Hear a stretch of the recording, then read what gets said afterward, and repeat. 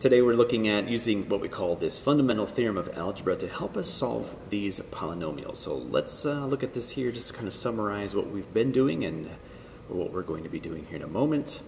We've been solving polynomials so far, and when we've been doing that, we have only been finding the real zeros, the real numbers. Uh, knowing that an nth degree polynomial will have at most n real zeros. So if it's a fifth degree polynomial, it will have one or two or three or four or five real numbers, real zeros, real solutions, in some combination with imaginary answers, and that's where we're heading now. We're going to expand our domain, our set of inputs, so that it also includes complex numbers. So that means our answers could be reals and imaginaries as well. So the implications of this is that if we have an nth degree polynomial, then that means it has precisely that many zeros. They could be reals, they could be imaginaries, there's some combination of them, but we now know the exact number of solutions that it ought to have. When we were only working with the real solutions, well, then we were only finding reals, and maybe there were some we were not finding because those were the imaginary. So that's why that was listed as having at most n real zeros. But now we can say it has precisely that many zeros. So that'll give us a clue into how many solutions we ought to be finding. That idea comes from what we call the fundamental theorem of algebra.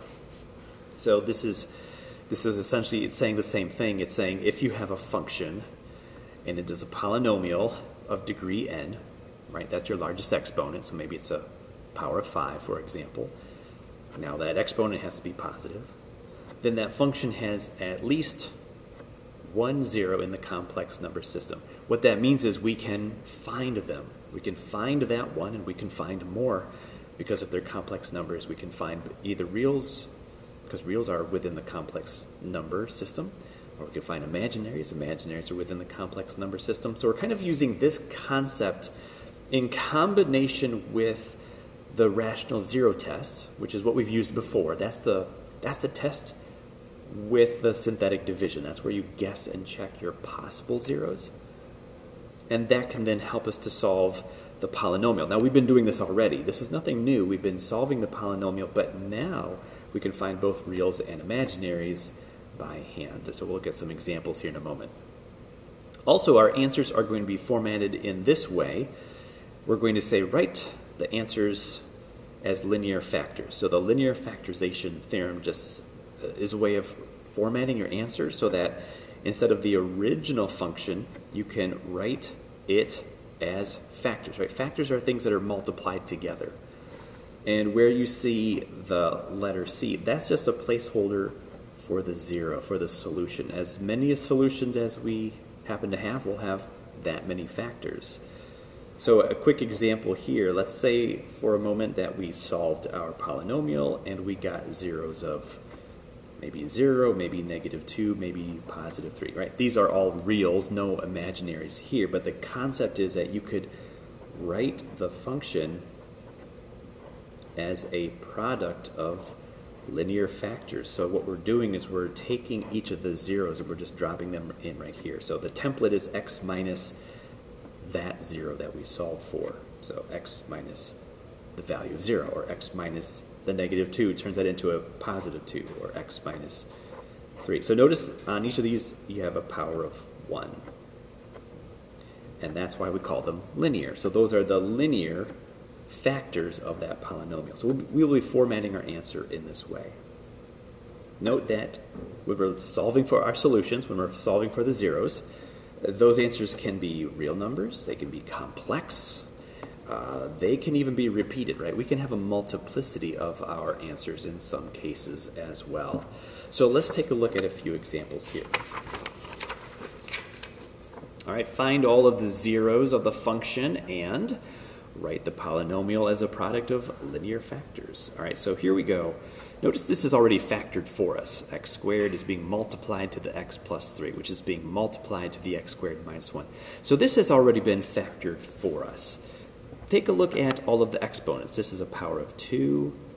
Here you have a power of 1. Here you have a power of 2. So altogether, this is a fifth degree polynomial. If you add those up, 2 plus 1 plus 2 is a total of 5 powers. So we have a fifth degree polynomial, which means we should find 5 answers.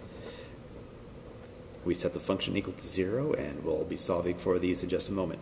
One change here, this x squared has not been completely factored. We need to factor that as well. So you have an x times an x, and then here's your x plus 3 and even this can be factored, that x squared minus 1, that's the difference of perfect squares. That can be factored into x plus 1 times x minus 1. So notice you have 1, 2, 3, 4, 5 factors.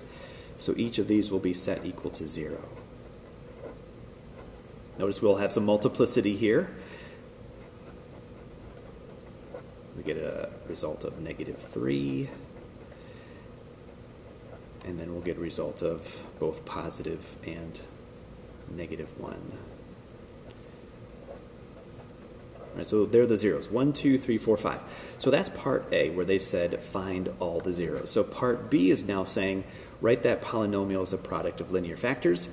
That's what that is, right? So we actually had that on an earlier step. So here it is, f of x equals x times x, right? Because if you plug in the 0, just x minus 0 is just an x. Here you have your x plus 3, right? You take that negative 3, you drop it in, so it's x minus the negative 3. Take that negative 1, drop it in, you have an x plus 1, and then the x minus 1. So you should, should have five of those, and we do. So that's the product of linear factors. Here in part 2, again, look at those powers. Here you have an m minus 4. That's an exponent of 1, but notice there's two copies of them. So that's two powers. Here's another two powers, so that means we have a total of 4. So that's a fourth degree polynomial. So if we set this equal to 0, and uh, what we're about to do here is separate each of these and solve. So you have m minus 4, quantity squared equals 0. You have the m squared plus 3 equals 0. Right, we need to solve each of our factors. Now, in example number 1, we had factored everything right up front. What if you don't? What if you're at this stage now and you're ready to solve for the variable? Normally, we would take the square root of both sides to get rid of that power of 2. But I cannot take the square root of 0 and uh, I should say, normally when we take the square root, you always have a plus or a minus, but I can't have a positive 0 and a negative 0, so taking the square root doesn't help me.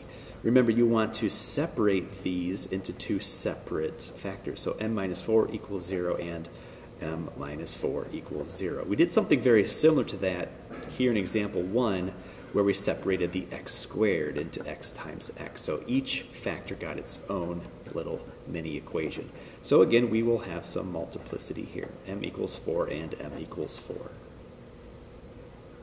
Now in this case of m squared plus 3, move the 3 to the other side. That gives us an m squared equals a negative 3. So notice here we will take the square root of both sides because I can take the plus or minus of this result. Now that's an imaginary, of course, so we want to think of that as plus or minus root 3 times i. The square root of that negative 1 is the i that you see right there. So we have 1, 2, 3, 4 zeros. That's what we were expecting. That's all part A. We found the zeros. Part B, now the product of linear factors, we have, actually the variable is m, so f of m. So m minus 4 times another m minus 4 times, and that will drop in these. So we have m minus the root 3i and m plus the root 3i. So you have four total factors because we had four zeros because it's a fourth degree polynomial. Here in example three, I wanted to change it up a little bit so you can scratch out what's printed on the page. This is what I want to use here instead. We have x to the fourth, so it's still a fourth degree polynomial. I just changed the terms. Here we have a 6x cubed plus 10x squared plus 6x plus 9. So one, two, three, four, five terms. So again, notice we're going to find all the zeros and then write the polynomial as a product of linear factors. So again, those are the same two steps. They have a few extra parts, a part C and a part D. We'll talk about that in a moment. But let's get started with this. So this is the kind of work we've done before, back in section 3. where we were using our either factoring or the synthetic division to find the zeros. Because it has five terms, I'm not factoring this. Instead, we're going to use the rational zero test. So the rational zero test is the one where we list the possible zeros and then we guess and check using synthetic division. To do this, we take the factors of the constant term, so factors of 9 plus or minus 1, plus or minus 3, plus or minus 9. And we would divide that by the factors of the leading coefficient, which is just a 1, so nothing really happens when you divide by 1. So we have these six possibilities. So what we need to do is we need to test with our synthetic division. Uh, we're just going to guess and check. I'm going to start off by guessing a positive 3. Let's see what happens. So with a positive 3, here's my coefficients. 1, 2, 3, 4, 5.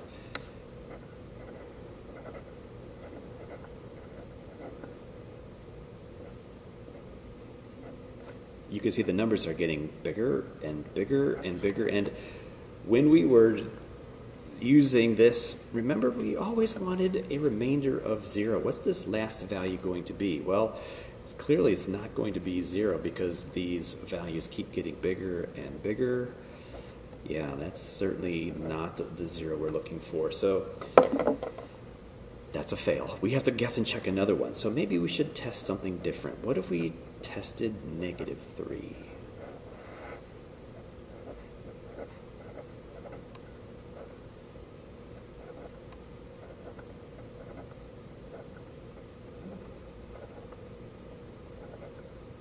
Bingo, there it is. That's what we're looking for. So this is one of our solutions.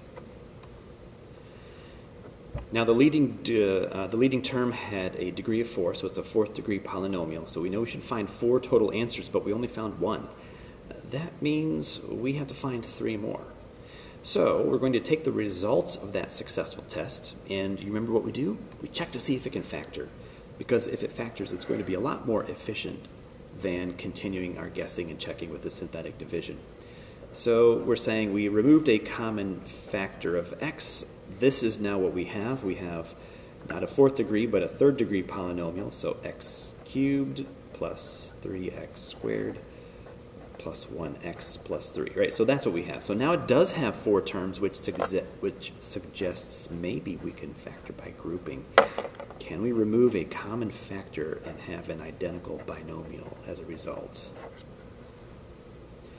So we factored an x squared out of the first two terms. Out of the third and the fourth, they have no common factor except a positive 1. So you still need to write down that positive 1 as a placeholder because we want the binomials to be identical. That's how you know it factors. And it does. So let's remove the common factor of x plus 3 and you have terms of x squared and positive 1 remaining, so that's the other factor. Yeah, it does factor. So when we set this equal to 0, we can now solve for our remaining three zeros. That's interesting. Look at that. We happen to have a multiplicity. So we have two zeros that are duplicates. Here we can take the square root of both sides because we will have a positive and negative version of that, so that turns into plus or minus i, right? The square root of negative 1 is replaced with the i. So here are the zeros.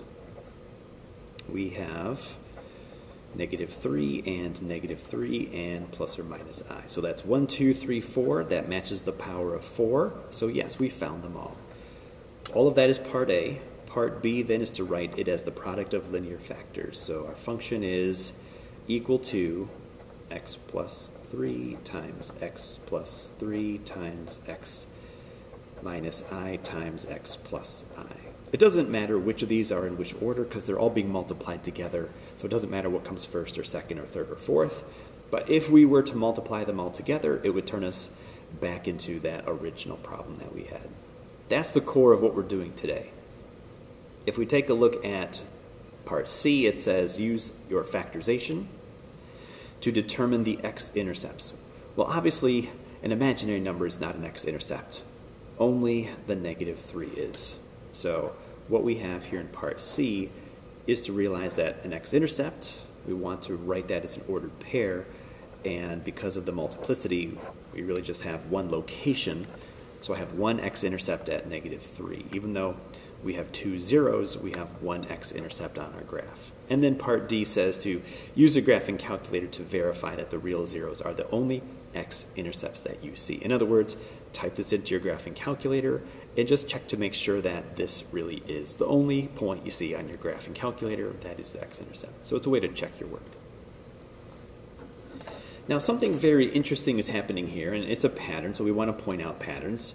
And I don't know if you picked up on it, but if you look at the examples we've seen so far, here number two and number three, notice that whenever we've had imaginary values, there have always been two of them. And it's not just coincidence, that's a true pattern. Uh, here you can see again, here we have some imaginary answers, and there are always two of them. It turns out that imaginary values always come in pairs. They are not identical pairs, they are what we call conjugate pairs. So, conjugate means one is positive and one is negative. So, in the above examples, the two complex zeros are conjugate pairs of each other. Complex zeros always occur in conjugate pairs, meaning not identical pairs, but conjugate pairs. So, if A plus BI is one of the zeros, then A minus BI has to be its pair. So, think about some of the possibilities. Let's say that we had a polynomial of degree 1. That would be a linear equation like this. If you were to graph that, it would be a slope of 1 with a y-intercept of 2, right? So it's just a straight line. That means you cross the x-axis in one location. That means it has one real x-intercept. That's one real 0. That means there are no imaginaries to be found because it's a degree of 1. There should only be one answer you cannot possibly have zero reals and one imaginary answer because the line is always going to have a real answer. You won't have imaginary answers because imaginaries always have to come in pairs. You can't possibly have just one imaginary. So this is the only combination with a linear equation. So what if we had a quadratic? All right, so that's a power of two. That means we should have a total of two solutions. So kind of think of this box here as being uh, split up into a top half and a bottom half. You could have two real answers, which means you would have zero imaginaries to find. You could have no real answers, in which case you could have two imaginaries to find. Notice you cannot have one and one. You cannot have one real and one imaginary because imaginaries always come in pairs. You either have two of them, or four of them, or six of them, or, or none of them let's just expand on this a little bit farther. What would this look like if we were to draw a picture? If I were to graph a quadratic, when might I encounter a situation where I have two reals or no reals? What would that look like? So here's a sketch of a quadratic. Let's say that I had x-intercepts at 1 and 3. So you could potentially have a quadratic that might look something like this. And yeah, so you have two real intercepts, two real zeros, there would be no imaginaries that you would be solving when solving a problem. Whatever the function is, we could see graphically we could get two zeros. So what would our parabola have to be in order to get no reals? All right, so in a case like that, we've seen this with a vertical shift. Let's say we shifted up two spots like this right? So that would be x squared plus 2. It's your parabola, but with a vertical shift up 2. Notice it doesn't cross the x-axis at all, so it has no real answers. But if you were to set this equal to 0 and solve, you would get some imaginaries. How many imaginaries? Two of them. So that's what we're looking at. What if we had a power of 3? Third degree polynomial. Well, that means you could have three reals and no imaginaries, or one real and two imaginaries. That's the only possible combination of our solutions. Notice you cannot have two reals and one imaginary because imaginaries always have to come in pairs. You'll never find just one of them. Let's go one farther. What if we had a fourth degree polynomial? All right, you could have four reals and no imaginaries. You could have two reals and two imaginaries. That's what we saw up here in example three, right? We had two reals and two imaginaries.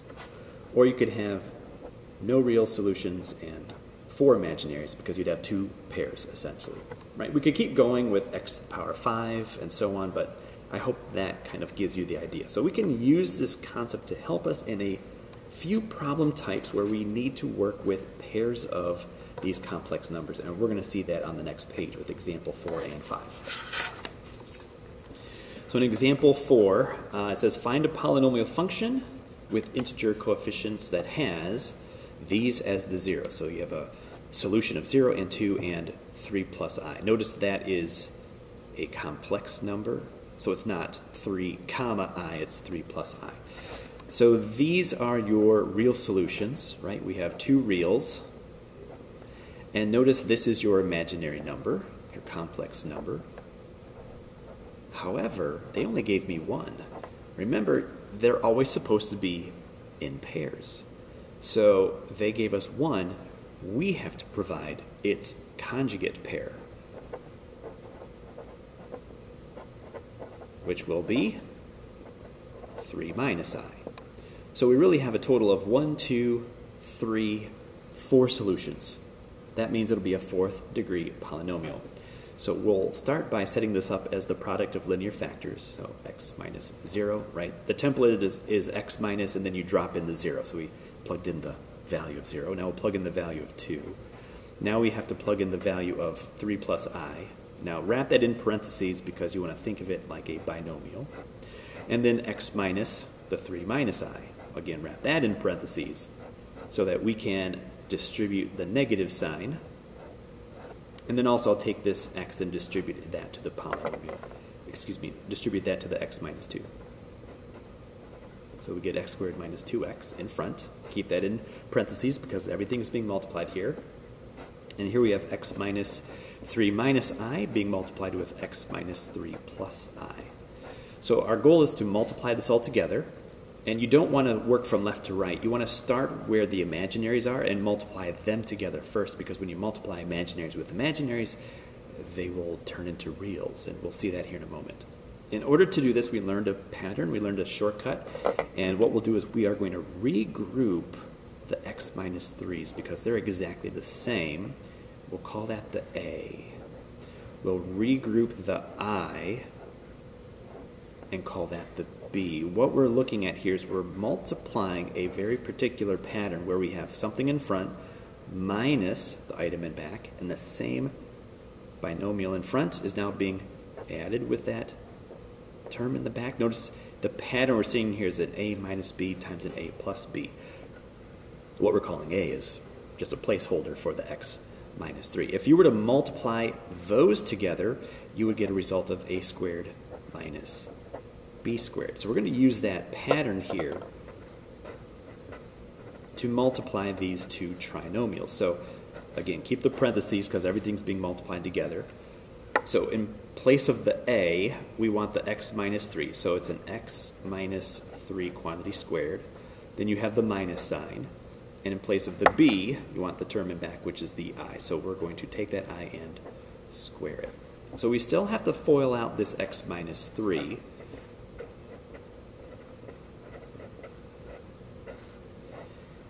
So we'll get an x squared minus 6x plus 9. So be very careful when you FOIL that out. It's not just x squared and 3 squared. It's x minus 3 times itself. So you get a trinomial as a result. There's the minus sign, and the i squared is replaced with a negative 1. So that means this will be a plus 1. We'll change that 9 to a, to a 10 because we're adding 1.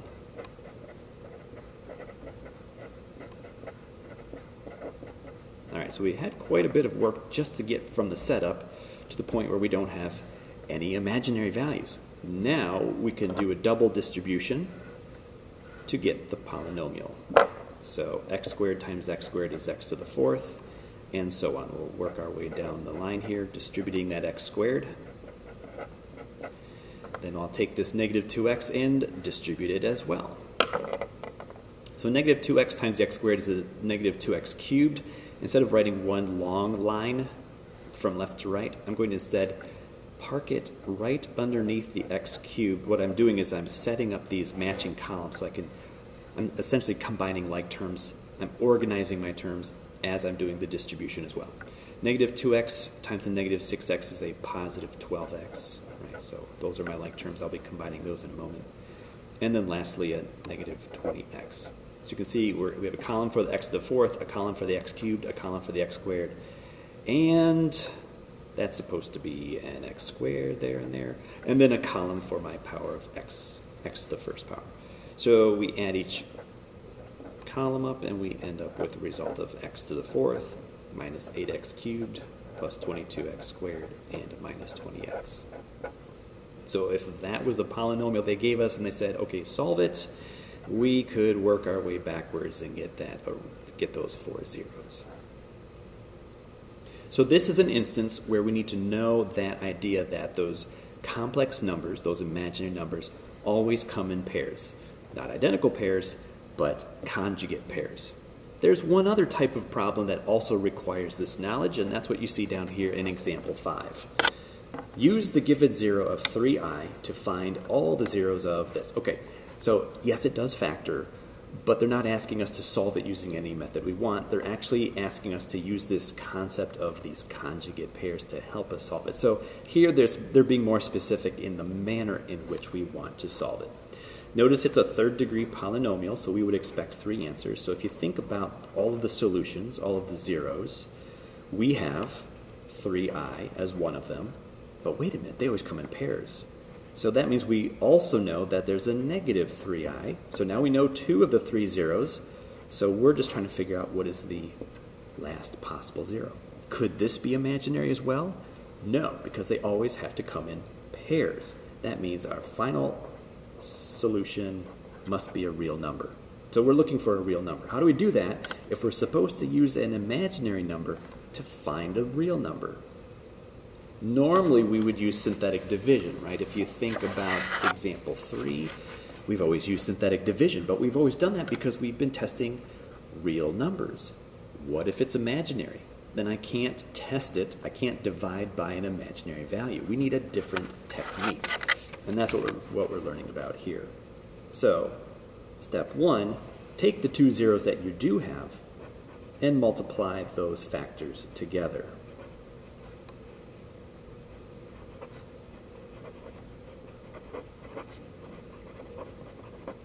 So in other words, we're setting this up as the product of linear factors using the two factors we already have.